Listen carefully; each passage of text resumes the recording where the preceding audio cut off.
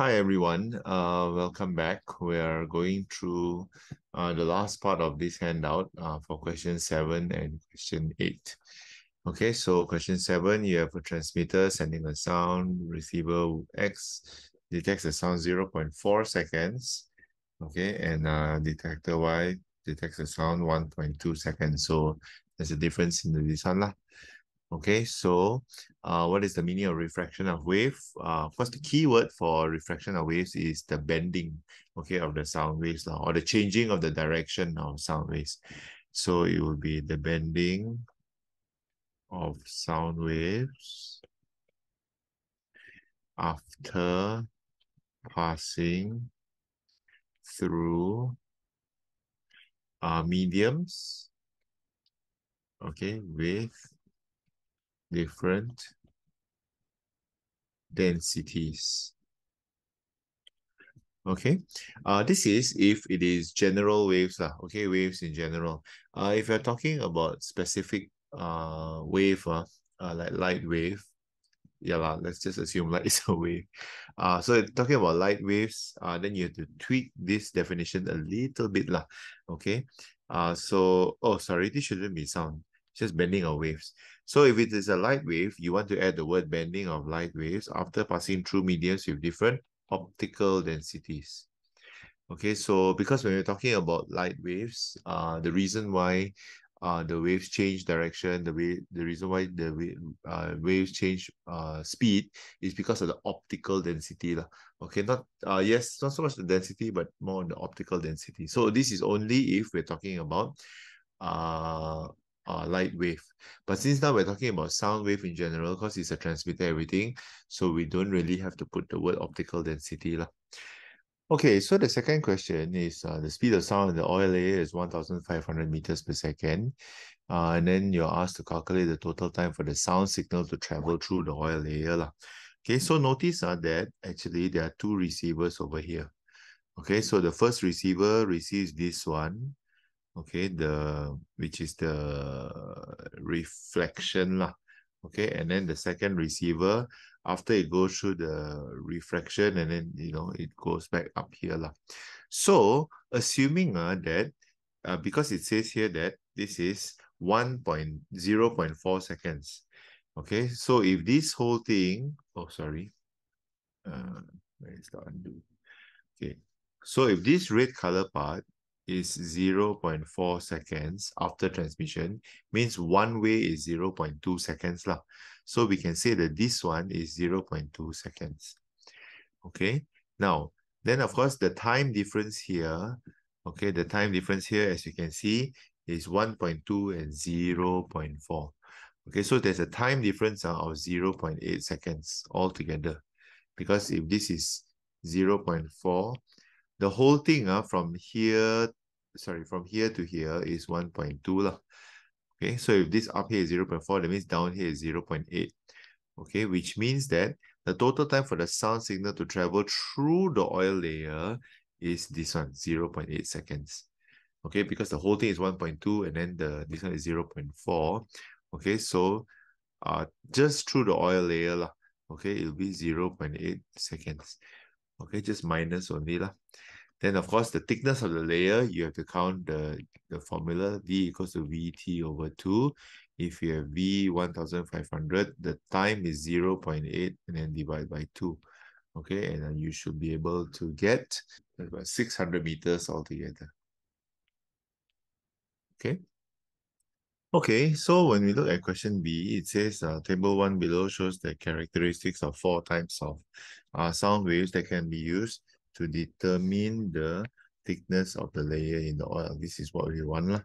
Okay, and so when we talk about determining the thickness, uh, most important thing is that we have to differentiate this between determining the depth of the sea. Okay, so the depth of the sea, you want the uh, you want the, the wave uh, to be able to penetrate far. Lah. Okay, because it has to go through the bottom of the sea. Lah. So uh, this is a very important thing. Lah. Okay, so for determining the thickness of the layer of oil, what you will need uh, is low frequency waves, okay, and of course high energy. And both serve the same purpose, actually. because uh, you want to penetrate a short distance. You don't want to go all the way into the rock layer because that's not what we want. We want just the oil layer only. So the frequency should be a low frequency, okay, so that it can penetrate a short distance. Okay, this has to be differentiated from the seabed. Lah. Okay, want to measure the depth of the sea uh, is different because depth of the sea is very big. So you want the big frequencies to can travel far. Okay, but uh, if you have a low frequency, you just want to travel a short distance, uh, the layer of oil is enough. Lah. Okay, but we need to have it to be high energy because it has to penetrate a lot of uh, stuff. okay, it's penetrate a lot of oil. Lah. Okay, so uh, higher uh, penetrating, penetrating power. Okay, so when we look at it, the best answer will be S lah. Okay, S is the better, this one. Okay, 7.1 shows 1,500 colliding, etc., etc. After the collision, both vehicles get stuck and move together. So you know that this is a kind of collision, uh, which is a non-inelastic collision. Lah. Okay, determine, uh, define momentum. Momentum is the product of mass and velocity. Okay, the principle that is involved is the principle of conservation of momentum. Okay, so calculate the velocity of the van and the car after the collision. Uh, of course, the most important thing is you need to know that uh, there is a negative sign involved here because the velocity is going towards the left. So this one, the momentum, okay, is 15 times uh, 1,500 uh, which will give you, okay, uh, so it will give you 22,500. And then this will be 20 times 1,000, uh, which will be 20,000, but it will be negative. Okay, so the total momentum is actually just 2,500 to the right. Okay, and since both of these are colliding together, so their masses will combine together. Lah. So it'll be 2,500 and then times V. Okay, so you get V equals to 1 meter per second. Okay, to the right. I think that's the most important thing. Lah. Okay, so it will be 1 meters per second to the right. Okay, eh, but if it's positive 1, so it's fine. Lah. Okay, so the engine jet, uh, sorry, jet engine of an airplane uses the principle conservation momentum to produce a forward thrust. You have three different types. So uh, I think if you've done this question before, you kind of know where this is going. Lah. Okay, you want to have uh, a big uh, air opening, okay, so they can take in more air. You want to have a big combustion chamber and you want to have a small exhaust opening. Okay, and of course you want to have uh, titanium blades lah, because titanium blades is uh, is uh, doesn't rust easily. If it is iron, it, iron rusts easily. Yeah? So obviously, when you look at this, uh, then you know that R is the best lah. But let's take a look. Uh. So the size of the combustion chamber is big. Okay, big size combustion chamber. Uh, so that uh, more combustion okay, can occur. Okay, another alternative answer is uh, you can do more fuel can be burnt. Okay, the size of the exhaust opening, okay, which is the one, it should be a small uh, exhaust opening. Okay, and the reason for this, uh, hold on now. Uh, the reason for this will be uh, you can produce a bigger momentum backwards okay or uh, a high speed exhaust gas okay either one of these uh, will be fine lah. a high speed exhaust gas then, of course, based on this, your answer, the best answer is R. Lah.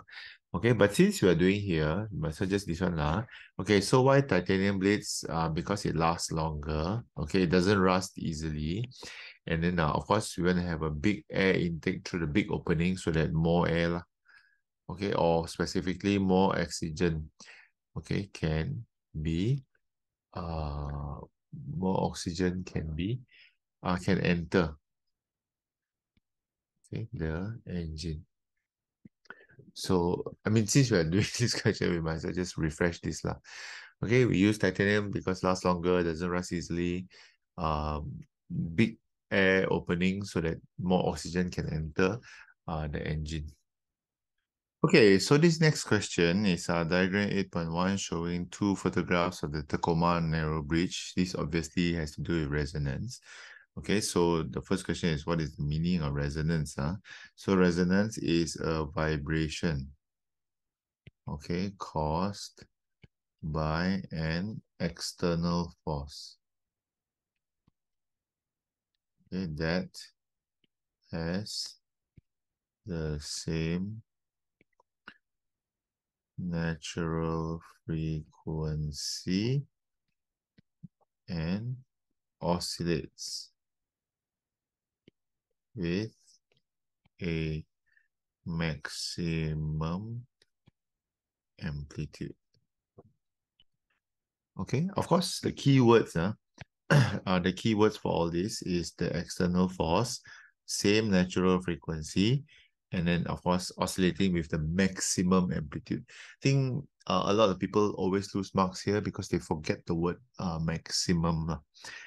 Okay, next, uh, based on this, you're given the frequency is 19, uh, and then the, sorry, frequency is uh, 0 0.6, and then the wave speed is this one. So calculate the wave for the wind. Of course, nat naturally, we go with the wave equation. Lah.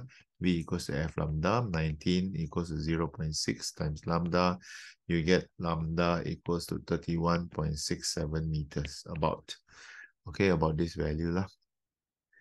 All right, then we go to this question. Diagram 8.2 shows two, uh, two shock absorber springs in the suspension system. Okay, and uh, on a motorcycle. Okay, then uh, using this one, this one, then you want length for spring. So of course you will want a short length for spring. Okay, because uh, and this is very normal elasticity question. Uh. So you have a short length of spring, usually you have higher spring constant. Okay, or usually the spring is harder. Lah. Okay, hard spring. Oh, sorry, actually the word is not hard, it's stiff. we shouldn't use the word hard. Lah. Okay, uh, stiffer spring. Okay, so these are the usual ones. Lah. Okay, the number of oscillations produced while receiving a shock should be smaller. You want less lah, because you don't want it to have shock and after that you boing, boing, boing, boing. No, you want it to quickly, quickly go away lah. Okay, so there'll be less vibration. Okay, or smaller frequency lah, because this is usually uh, to do with the number of oscillations. Uh. Okay, then of course the type of material for the spring uh, usually is steel or some hard metal uh, also can, but usually we use steel, uh, especially for like motorcycle, this one. Okay, so you can give a number of reasons for this. Uh. One is uh, it can be strong. Okay, another one, it uh, also can be a high spring constant. Okay, uh, usually uh, those kind of answers are kind of the standard ones. Lah. Okay, now we come to the final question, uh, which is this one. So diagram 8.1 shows a ship in front of a cliff. Ship sounded the horn and the echo was heard 9.4 seconds later. So once again, uh, this question again, uh, the one that involves the ever famous formula. Lah. Okay, state the wave phenomenon involved uh, in the situation. Of course, we're talking about reflection. Okay, so determine how the echoes, sorry, explain how the echoes can be used to determine uh, the distance. So it's two marks, so usually when I have two points. Lah. Okay, so um, when the wave reaches uh, an obstacle, is it an obstacle? Sorry, this is a cliff. Okay, so we don't say an obstacle. Uh, we say when the wave reaches the cliff, okay, it will be reflected. Okay, and then after that, uh, the time uh, to receive the wave is used in the formula d equals to vt over 2 to determine the distance. This is obviously a four-mark question that has been compressed into two. Lah.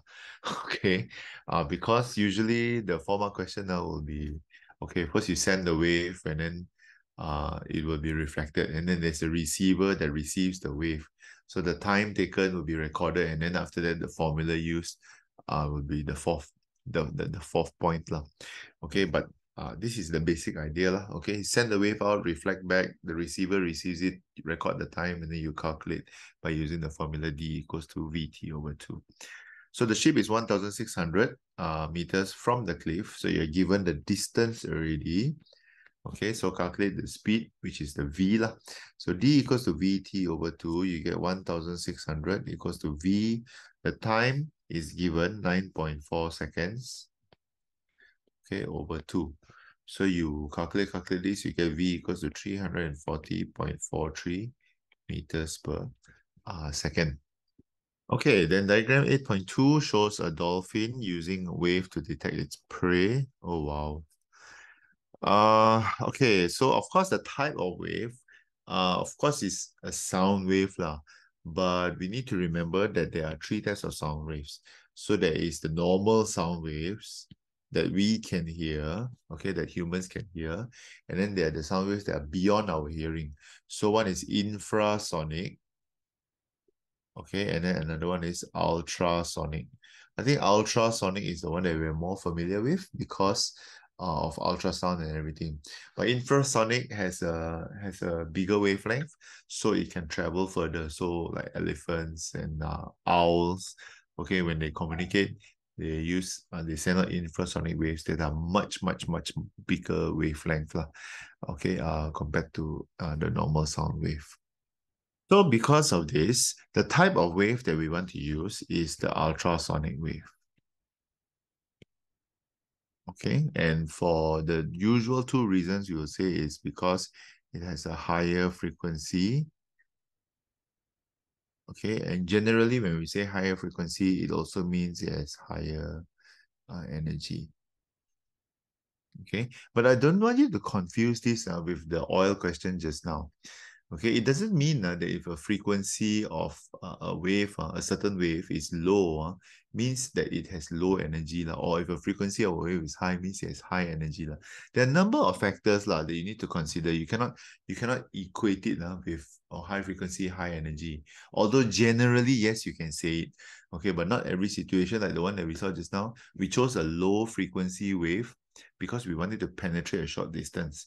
Okay, but we still have to choose high energy uh, because you know it has to penetrate through oil. Uh, in, I mean, it has to penetrate enough lah. If we choose low energy, it cannot even penetrate the oil. So, uh, we cannot always equate high energy, sorry, high frequency waves with high energy.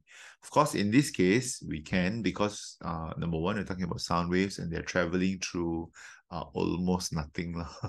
okay. Secondly, the frequency of the wave should be high. Okay uh, so that, and this is always seems to be the pair, lah, okay, higher energy, or it can propagate, propagate further. Okay, because we want to use it to uh to to this one lah, to to be able to detect the prey. Okay, all right. I think that's it for our uh, videos this round. Uh, maybe after the trial exams, I will do a couple more videos for other things. Lah. All right. Take care, everyone.